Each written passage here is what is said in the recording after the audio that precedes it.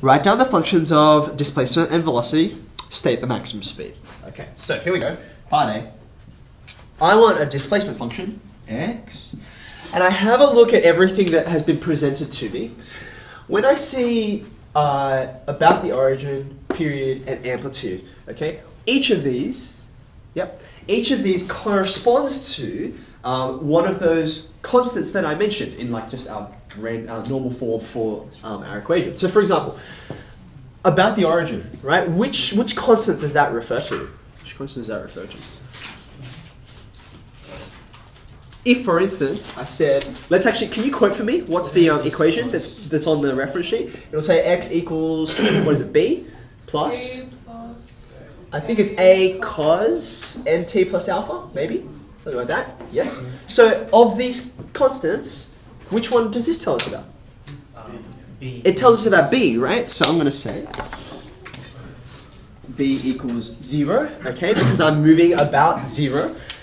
Uh, when I look at this one here, which constant does this tell me about? N. Period. How do I change the period or frequency of this thing? It's about the coefficient of t, right? So therefore, when I have a look at this, I'll come back over here. Period. How do we work out if I gave you a function like say, um, you know, 15 plus 12 cos 3t plus pi on 6. Okay, so I'll just put a whole bunch of random numbers in there. How do I work the period out from that? Good morning. Okay, so I factorize the inside, yes. If there was a 3t plus whatever there, okay, how am I getting the period out of that number? 3, what do I do with it? Coefficient of T. What do I do with the coefficient of Don't t? you go to Two pi is I do 2 pi on 3, right? So 2 pi on 3 would in fact be the period, okay? But they've given me the period here. I'm trying to find out what the n is. I'm, I'm going in reverse order. So I'm going to say 2 pi on n, period, is 24. Does that make sense? And then, of course, all I need to do here is make n the subject, yes? So I'm going to, excuse me, multiply n across, divide by 24. So that puts that guy over there. This is going to be pi on 12. Yep. Okay, good. Amplitude 120 meters. That's an easy one. That's A. That's A.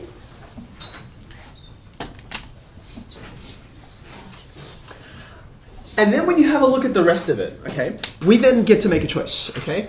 Uh, you can see here, when t equals 0, x equals 0. So I can choose to change one of two things here. One of two things. Firstly, just in the present form that it's in right now. So what I'm reading off at the moment is 120 cos pi on 12t plus alpha. I don't know what alpha is yet, okay? Now, in order to make this happen, when t equals 0, I'm at the origin, and I'm moving forward. So this is um, helpful for all of us. Draw yourself a little drawing, right? A little, a little graph. And if I'm starting the origin, and I've defined forwards, which is my initial direction, as positive, okay? So I start at the origin. There I am, starting at the origin times zero, and I move forwards. Positive direction, okay? So clearly, you can see, to make this into this, I can do one of two things. What do you think is the most obvious thing to do? Okay, I think the most obvious thing is to not use cos, right? But to use sine. And that is in fact what we will do in a second, okay? But it's important you know that's not the only thing you can do. If I wanted to keep it as cos, I would I would change the alpha, right? So this is the phase here. So all I'd have to do is cos usually starts up here. So I'm just going to which direction am I going to go in? Right. Uh, to the left. So so I'll just draw it here. Minus left. This is what cos usually looks like, right? Oh, to the left. Ye- You should be to the right. To the right. to, to the to the left, to the right. Okay, so let's think about this, right? This, let's forget about all the particular numbers right now. Let's just call this one cos x. This is even. This is So what I really want is this graph, right? So to turn this graph into this one, for example, look at that point there. Look at that first x-intercept, right? Or time intercept, right? Well, it is an x-intercept on what I've drawn, right? So my dad's calling me. Let me go ahead. Which direction does that have to move in to turn it into this graph? To the right. Yeah, this this is pi on 2 right here, yes? Whereas that's pi, okay? So I've got to go that way So this would be, if I actually had this graph here, I could express this as cos of x. How do I shift something to the right? Minus Minus pi on 2.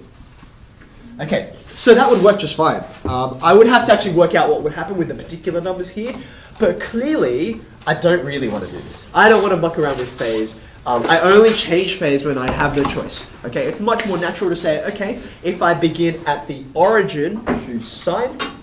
If I begin at an extremity, choose cosine. That's the simplest way to do this. Okay. Having chosen sine, what does that mean about alpha? In this case, alpha. It's zero. That's the whole reason why we chose sine. Okay? Fantastic. So we have slowly dissected the question. Yes. Why, like, if you change the phase, you said, why do we need to change other numbers?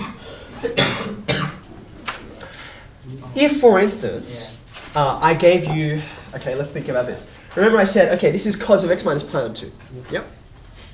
If I wanted to, but sorry, let me start again. Because this is cos of x minus pi on two, or maybe I should say, like, say t minus pi on two. Okay. I don't actually have something which has a, a period of two pi. I actually have something which is a period of uh, 24, right?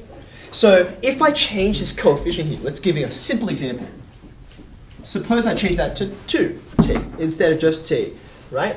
If I slap a minus pi on 2 on this, that hasn't been shifted pi on 2 radians anymore. How far has that been shifted? How would I be able to tell? There's something I can do algebraically to help me see because it's not immediately obvious. Yeah, I actually have to factor that 2 out, don't I? So I would write this. Okay, this is a very easy trap to fall into because it looks like, well, does it matter? Does it matter which one of these you do first? Does it matter whether I shift my phase or whether I change the frequency? And the answer is yes, it does matter, right? Because in fact, there's not pi on 2 acting or changing t. It's changing to t. So that's why it sort of gets diluted. It gets sort of shared out to two different things. That be like n brackets two plus alpha then? Um, if you wanted to do it that way, yes, but I'm just saying that this is not what you get. This is not the way the equations are stated, right? You wouldn't usually write it in the form that you're describing, uh, like this, n of t plus alpha. This is what you're talking about, but simple harmonic motion is almost never expressed in this form. It's expressed in this form.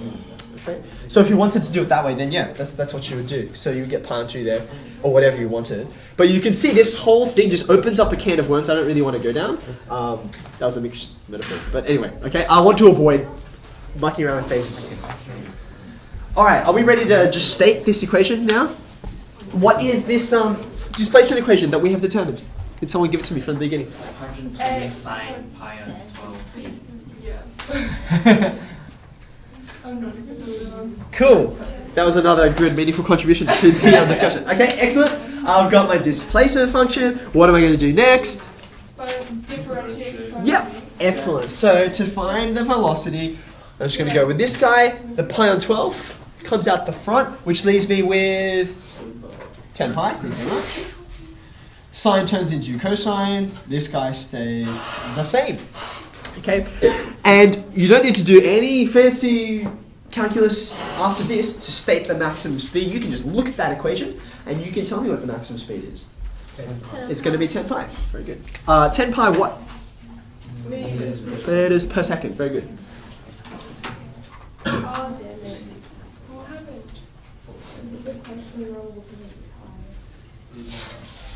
Yes, those pesky pies.